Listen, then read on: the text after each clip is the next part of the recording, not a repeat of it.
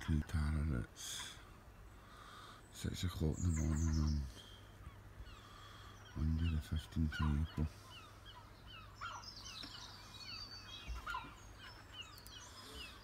Is focused on their beds. We have the hedge over there. See, you can just see the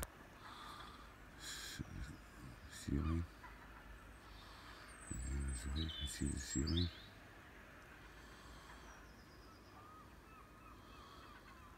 Red and a wee bit of red in the sky up there.